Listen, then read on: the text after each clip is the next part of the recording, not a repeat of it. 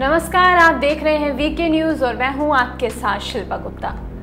हमारी खुद की बॉडी पर हमारा अधिकार है कि हम उसे कैसे रखते हैं और किस तरह से रखते हैं। यह अधिकार राजेश पांडे के पास भी था। जी हाँ छह महीने पहले की बात है, जब रेल कर्मी राजेश पांडे ने तय किया कि वो सेक्स चेंज ऑपरेशन करवाएँगे।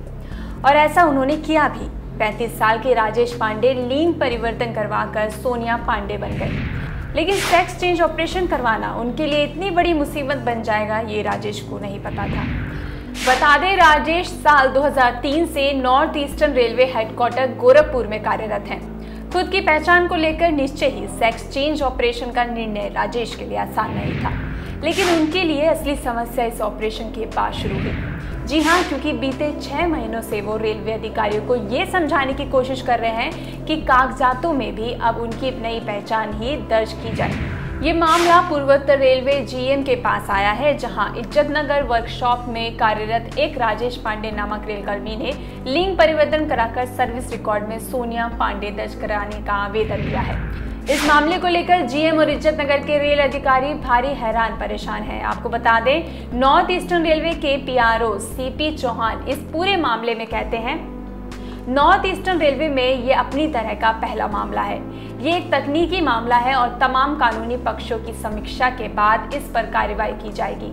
बता दें, मुख्य कारखाना प्रबंधक कार्मिक इज़्ज़त नगर में कार्यरत सोनिया पांडे की नियुक्ति राजेश पांडे के तौर पर हुई थी। पिता के देहांत के बाद उन्हें अनुकंपा पर ये नौकरी मिली।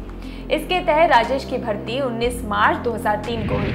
साथ ही आपको ये भी बता दें कि राजेश यानी सोनिया के बड़े भाई भी रेलवे में कर्मचारी थे।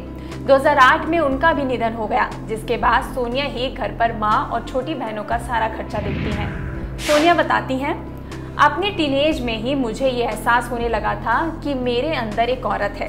लेकिन परिवार के दबाव में मैंने 2012 में एक लड़की से शादी कर ली। मैंने उस लड़की से भी अपनी स्थिति स्पष्ट कर दी थी। इसके बाद 2014 में आपसी सहमति से हमारा तलाक हो गया।